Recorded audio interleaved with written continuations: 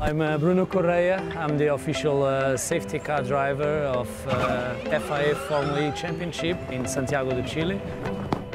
I drive the Qualcomm uh, BMW i8.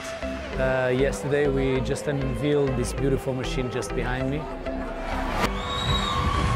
We did small changes on the car to adapt to the racetracks, of course, which are very demanding. So basically we have uh, powerful brakes on this car. We have also uh, a new suspension which is possible to adjust um, to each track.